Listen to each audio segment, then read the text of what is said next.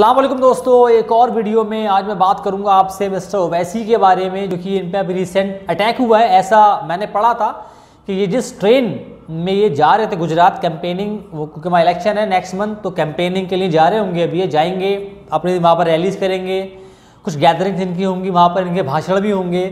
तो जिस ट्रेन में ये जा रहे थे, उस ट्रेन पर अटैक हो गया ट्रेन का नाम था वंदे भारत एक्सप्रेस और उस ट्रेन के शीशे वगैरह कुछ टूट गए लेकिन इनको कोई चोट वोट नहीं आई है थैंक गॉड इससे पहले दोस्तों, जब यूपी का इलेक्शन हो रहा था, उस टाइम भी इन पे गोली चली थी, लेकिन वहाँ भी जो ये सेफ़ रहे थे, अच्छी बात है बहुत तो वहाँ भी ये सेफ़ रहे थे और लेकिन इनका क्या क्या कनेक्शन है? ये एक नया जो आपका ट्रेंड आ रहा है कि जब भी इलेक्शन हो तो मुसलमानों के नेता के तौर पर लोग उनको देखते हैं बहुत लोगों के नेता होंगे वो तो ये इन पे अटैक होता है, क्योंकि इन पे अटैक जो है ना, वो ज़्यादा सूट करता है।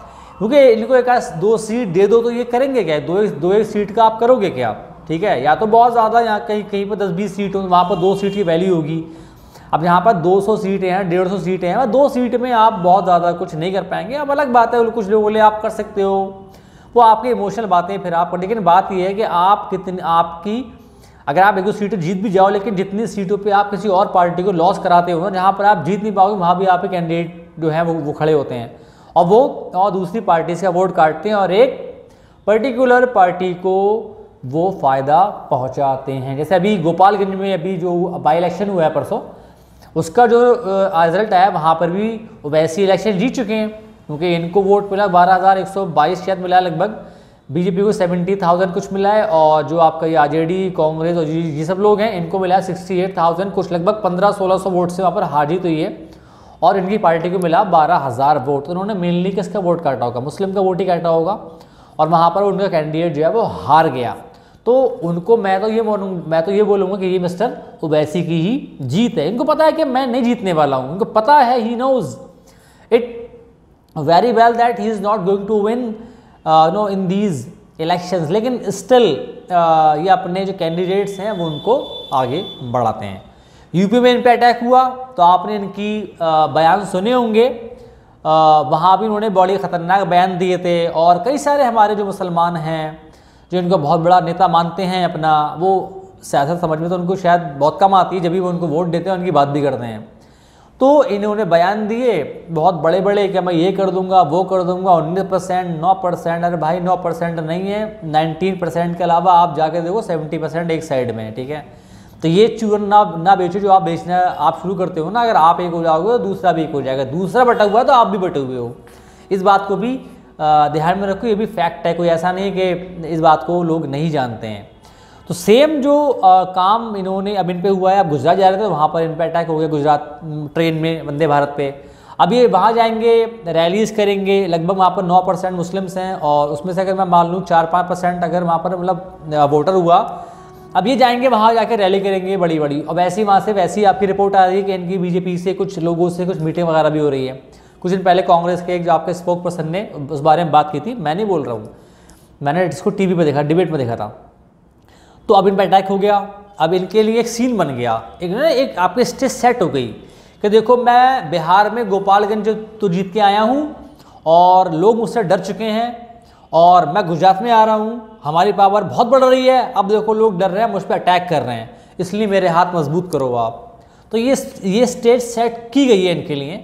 और अब ये जाके, जो मैंने बताया आपको इमोशनल बयानबाजी करने वाले हैं।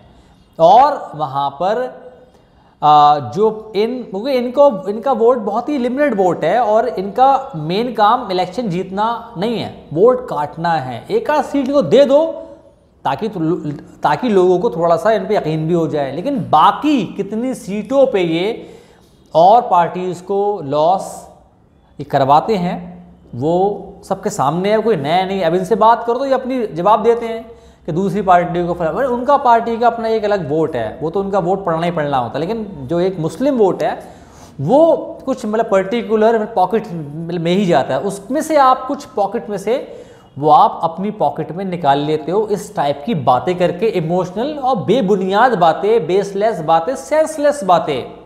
है ना? अब ये भाई पॉलिटिशियन है पॉलिटिशियन काम होता है, हर तरह से बातें करना लोगों को, बहुत ज़्यादा पॉलिटिशियन काम होता है आई मीन उनको बलगलाना होता है लोगों को। उनमें से मेरे ख्याल से ये भी एक एक है क्योंकि इनकी बातें कतई बेसिर पैर की हैं।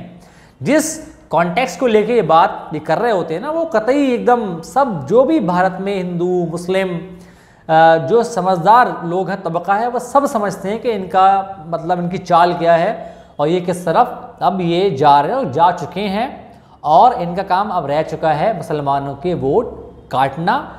जिन पॉकेट्स में वोट जाता है, वहाँ से कुछ कुछ वोट को निकाल के अपनी पॉकेट में डाल लेना। ये रह गया इनका मेन मेन मकसद और उसी के लिए ये स्टेज सेट हो गई है। यूपी में भी हुआ और अब यहाँ गुजरात में भी आ, हो चुका है इन पर अटैक हो चुका है इमोशनल बयानबाजी अब शुरू हो जाएगी और ये आगे जहाँ जहाँ इलेक्शन आएगा वहाँ वहाँ अब इनके साथ ऐसा हो सकता है क्योंकि ये ट्रेंड बनता जा रहा है। पहले वहाँ हुआ और अब यहाँ भी हो गया। आगे मैंने चाहता ऐसा हो अल्लाह खैर करे ऐसा नहीं होना चाहिए लेकिन एक ट्रेंड है ना स्टेज सेट कर कोई तो स्टेज मतलब स्टेज सेट करेगा ना तो इन्हीं चीज़ों से स्टेज मतलब स्टेज सेट होती है। अब ये भी नहीं मालूम ट्रेन के अंदर क्या था, क्या हुआ, क्या ये नहीं। लेकिन न्यूज़ में आ गई ये बात कि इन पे अटैक हो गया है, लोगों का दिमाग इस तरफ़ चला गया है और अब टीवी वाले इनका इंटरव्यू ले रहे होंगे एकदम पेल पेल के और इनके बयानबाजी आना स्टार्ट हो गई। तो गुजरात में अगर लोग मेरी वीडियो देख रहे हैं ये जहाँ जहाँ देख रहे हैं आप, इसको आगे बढ़ाएँ, उन लोगों को पहुँचाएँ, बात के वोटिंग करें बहुत। मतलब सेंसिबली इनकी बातों में ना आए। एक आध मेयर जीत के कुछ नहीं होता उससे। क्योंकि पावर नहीं बढ़ती है। ऐसे ये सब दिमाग में एक मतलब फितूर पैदा करने वाली बात है। ठीक है? तो सेंसिबली वोट करें, ध्यान से वोट करें। इस वीडियो में इतना ही। मिलूँगा आपसे अगली वीडियो में। द हाफिज़।